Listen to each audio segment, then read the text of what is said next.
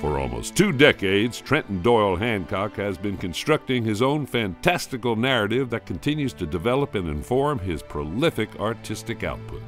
Trenton Doyle Hancock's drawings and paintings pull from his own personal experience, comics, superheroes, and pop cultural references, creating a mix of characters and plots demonstrating universal concepts of light and dark, good and evil, and the gray in between.